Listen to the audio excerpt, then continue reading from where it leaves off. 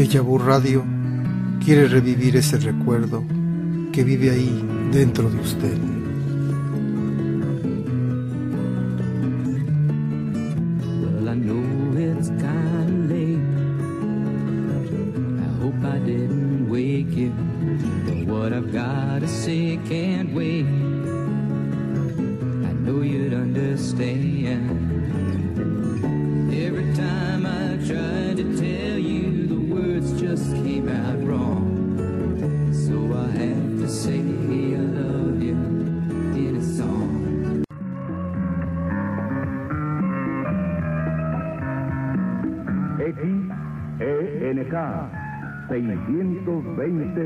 620 kilohercios. México.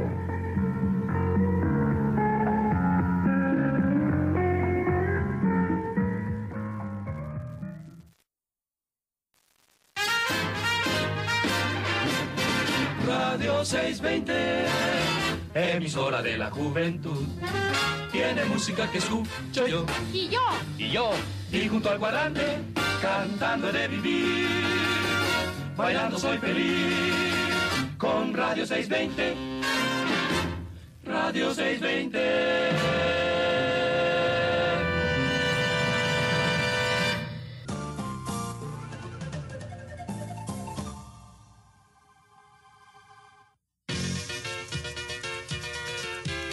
Y continuamos con más del universo artístico de la música que llegó para quedarse. Aquí, en Retrospectiva 620.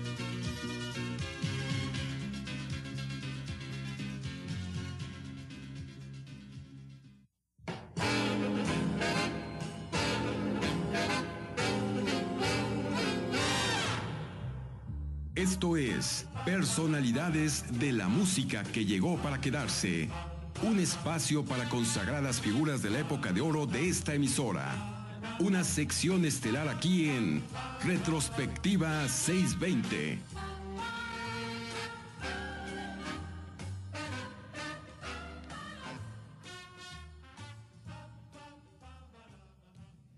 John Lennon, el extraordinario y multifacético artista cuyo talento y sensibilidad le hicieron crear la banda de rock más famosa de la historia, los Beatles, y cuyas composiciones se estudian actualmente en todos los conservatorios de música del planeta, esta noche, en el escenario de personalidad, la audición de gala de Radio 620.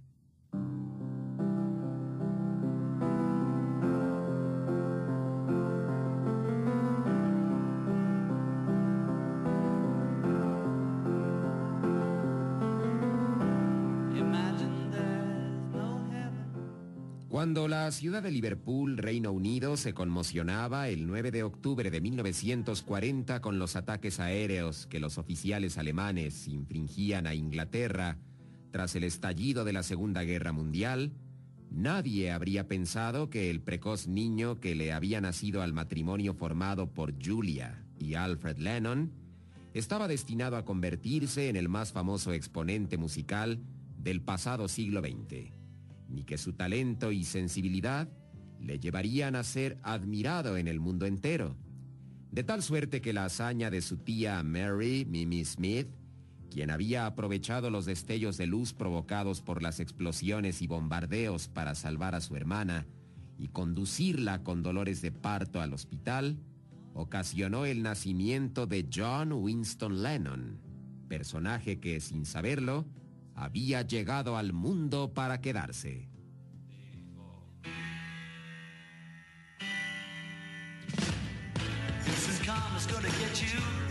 Juntos, abordemos la máquina del tiempo.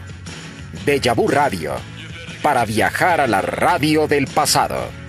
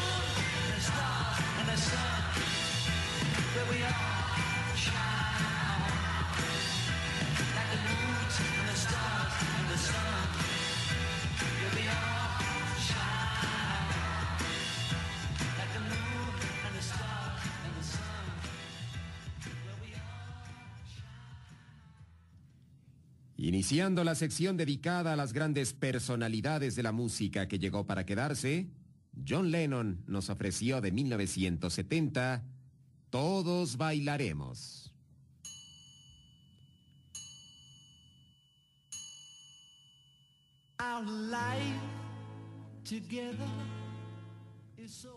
El inquieto, rebelde, ingenioso y muy carismático John Winston Lennon comienza su vida en el hogar de sus padres, etapa que por desgracia se ve truncada a temprana edad tras la separación de estos. Cuentan sus biógrafos que nuestro invitado se instala en Menpitz, en el hogar de sus tíos maternos Mimi y George Smith. Su acercamiento al mundo de la música se dio desde los 11 años, ya que en esa época era fan de Elvis Presley, aprende a tocar el banjo y deslumbra a sus compañeros de escuela al cantar los hits de Fats Domino. Se dice que su madre, Julia, tal vez por el remordimiento que le causaba vivir con otro hombre e indirectamente haber sido la causante de su ruptura matrimonial y de la separación que por consiguiente tiene con su hijo, le apoyaba incondicionalmente en sus inquietudes artísticas. De hecho, la vieja guitarra de segunda mano que John tocaba en 1956 había sido un regalo de su progenitora, quien sin saberlo estaba poniendo en sus manos las llaves del que sería su irremediable destino, la música.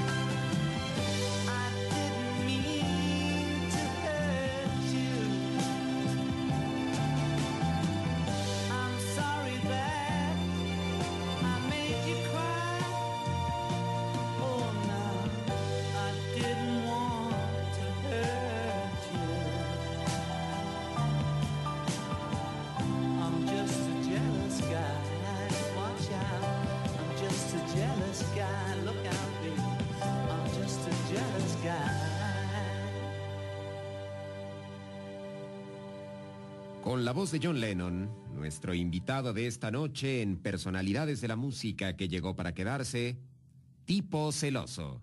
Vamos a un corte y continuamos.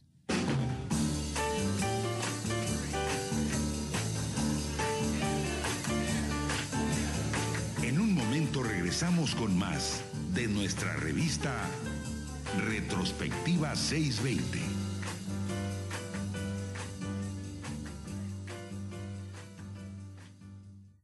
Todos tenemos los mismos derechos. Derecho a la educación. Derecho a trabajar. A participar en actividades recreativas. Y ser el mejor. A no ser discriminado. Somos personas con discapacidad y como todos, tenemos derechos. Acércate a la CNDH. Llama al 01800-715-2000 o visita la página www.cndh.org.mx. Derechos Humanos. Compromiso de todos. Comisión Nacional de los Derechos Humanos. El Banco de México ha desarrollado una tablilla para que las personas con discapacidad visual puedan identificar los billetes con base en su tamaño y con ayuda de caracteres en braille. Para mayor información sobre cómo obtenerla, consulta www.banjico.org.mx diagonal tablilla o llama al teléfono 01800 Banjico 226-9426. La tablilla de billetes es gratuita. Queda prohibida su venta. Banco de México. Con más del universo artístico de la música que llegó para quedarse. Aquí, en Retrospectiva 620.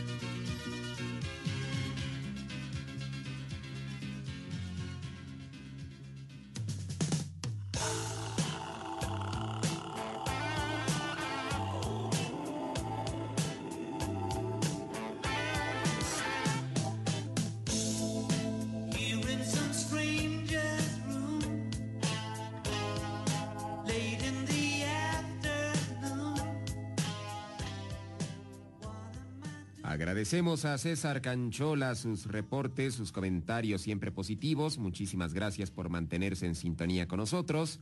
Vamos a continuar con esta sección Personalidades de la Música que llegó para quedarse dentro de Retrospectiva 620, esta sección dedicada a John Lennon. Para 1956, John, de casi 16 años, integra su primera banda musical denominada The Quarrymen, agrupación con la que interpretaba ritmos como el skyflea y el rock and roll. El grupo se enriquece en 1957 con la llegada del talentoso joven Paul McCartney. Con este grupo, John tiene la oportunidad de cantar en 1958 su primera composición, Hello Little Girl, misma que alcanza una modesta pero significativa posición en el top ten británico. Por otro lado, se cuenta que en el curso de una fiesta escolar, Paul conoce a un adolescente de 14 años llamado George Harrison, quien con singular maestría interpretaba Raunchy, hit de moda a finales de los 50. McCartney lo presenta con John, y aunque éste en el fondo lo despreciaba por considerarlo todavía un niño, decide aceptarlo en el grupo por su habilidad para tocar la guitarra. De este modo, la futura agrupación de los Beatles estaba casi formada, y con ella se iniciaría una era inolvidable que ha marcado literalmente a varias generaciones.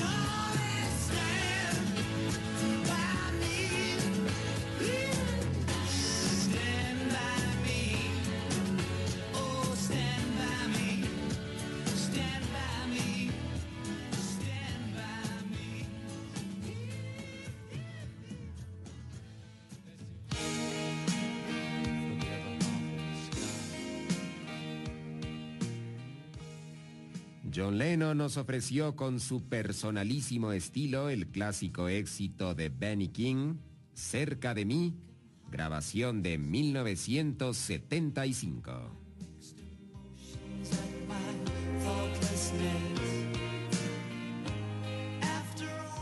Para 1960 los Quarrymen se convierten en los Beatles e inician una gira de 48 presentaciones en Hamburgo, Alemania.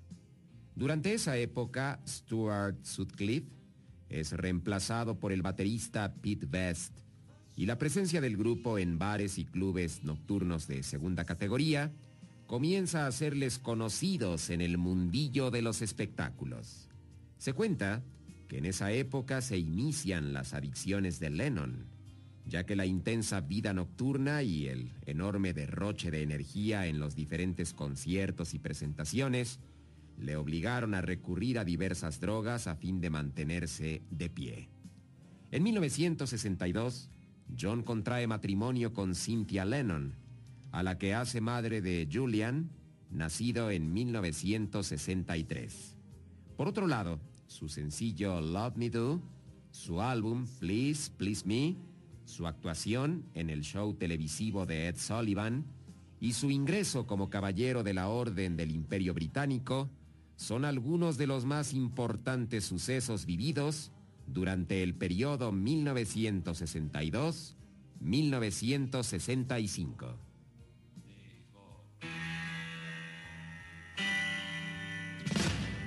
This is karma's gonna get you. Gonna knock you right in the head.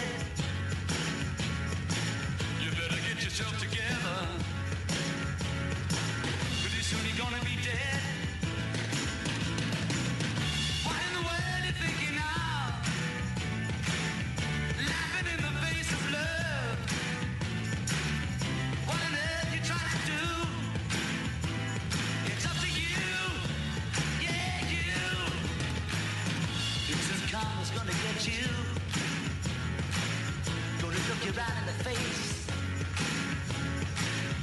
Better get yourself together, darling. Join the human race.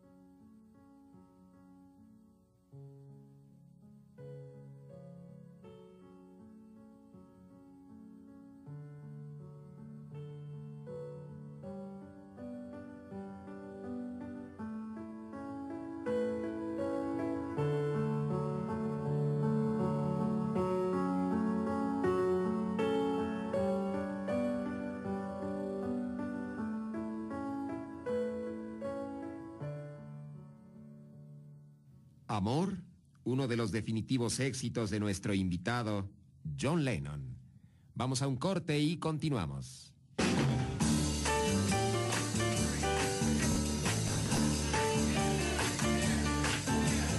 En un momento regresamos con más de nuestra revista Retrospectiva 620.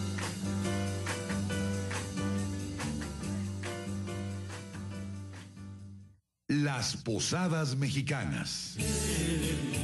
Una tradición que llegó para quedarse. XENK, Radio 620, transmitiendo desde Durango 341, Colonia Roma, en la capital federal de la República Mexicana. Estación piloto de Cadena Raza.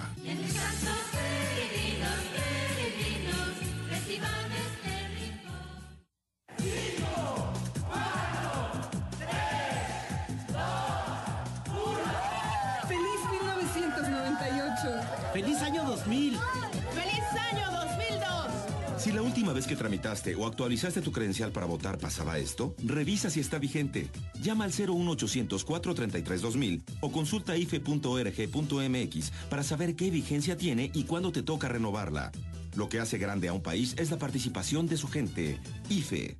¿Traes los teléfonos? ¿Los de mi tía Lucha? No, los del programa Paisano, para que nos digan por dónde irnos. Querido paisano, México te recibe con cariño y dos teléfonos de orientación gratuitos. Desde Estados Unidos, 1877-210-9469. En México, 01800-201-8542. Márcalo si necesitas información vial o tienes problemas en tu visita. México es grande y es tuyo. Gobierno de la República. Este programa es público, ajeno a cualquier partido político. Queda prohibido el uso para fines distintos a los establecidos en el programa. Arbolitos de Navidad, luces, posadas y por desgracia, un enemigo mortal nos puede echar a perder la fiesta. Es el monóxido de carbono, el gas que se genera al quemar leña, carbón, petróleo, madera o cartón. Es un asesino invisible que no tiene olor, color ni sabor. Ten mucho cuidado al usar braseros, chimeneas, estufas de leña o calentadores de queroseno. Asegúrate de que tenga la ventilación adecuada y nunca los dejes sin vigilancia. Cuida tu vida, cuida tu salud. Gobierno de la República. Este programa es público, ajeno a cualquier partido político. Queda prohibido el uso para fines distintos a los establecidos en el programa.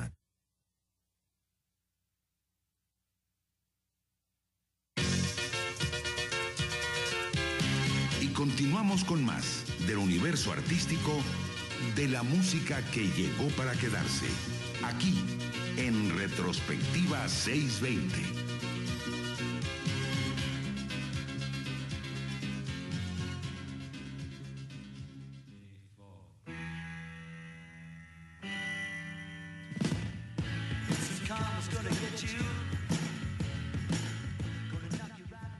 Continuamos con esta sección dentro del programa Retrospectiva 620. Estamos ofreciendo personalidades de la música que llegó para quedarse, en esta ocasión con este espacio dedicado a John Lennon.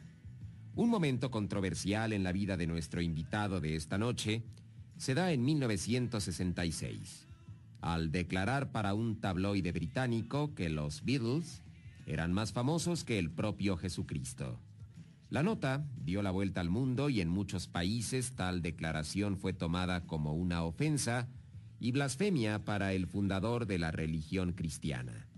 John tiene que pedir disculpas, consciente de que eso había afectado su imagen pública y aunque el incidente pronto fue olvidado, no es sino hasta 1967 cuando la banda resurge con el multivendido álbum el club de la banda de los corazones solitarios del sargento Pimienta. Desafortunadamente, la prematura muerte de su manager, Brian Epstein, y los conflictos suscitados con los demás integrantes de la agrupación marcan el paulatino fin de los Beatles, hecho que formalmente ocurre en enero de 1970.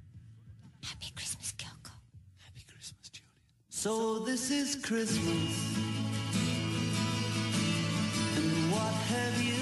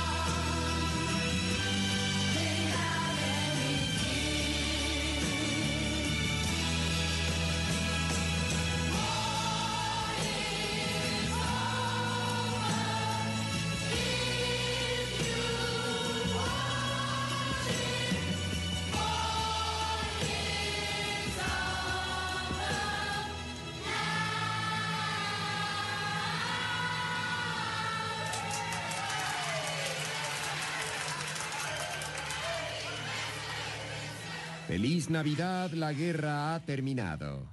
Un éxito de 1971 en interpretación de nuestro invitado de esta noche, el desaparecido John Lennon.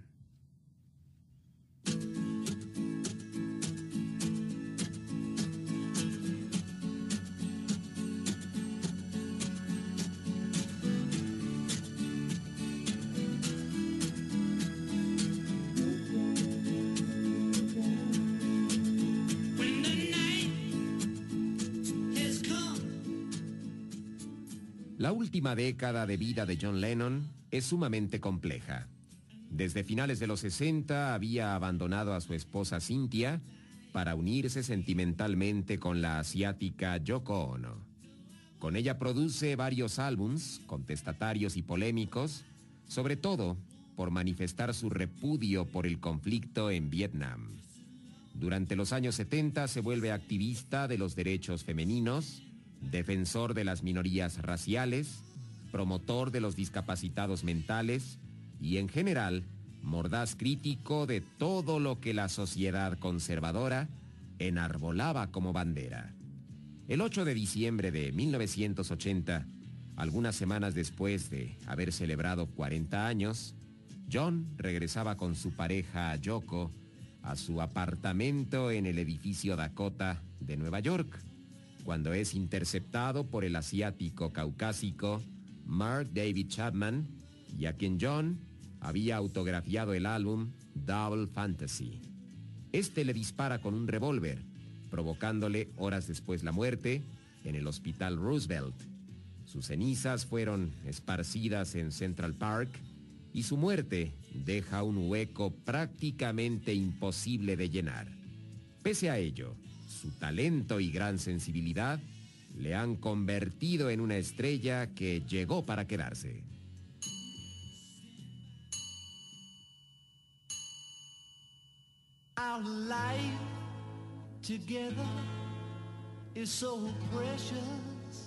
Together we have grown. We have grown. Although our love is still special. Let's take a chance and fly away somewhere alone. It's been too long since we took the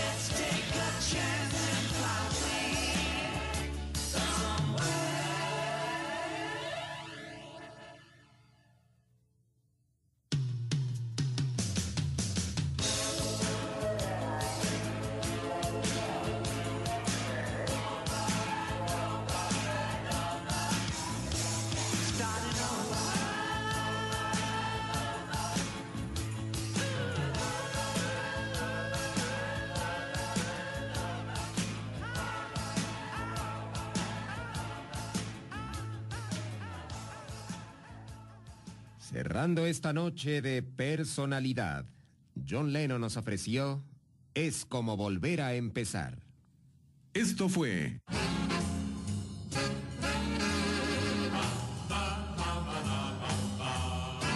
Personalidades de la música que llegó para quedarse. Una sección donde semana a semana escuchará la vida y obra de los grandes exponentes de la época de oro de Radio 620. Los esperamos en nuestra próxima emisión.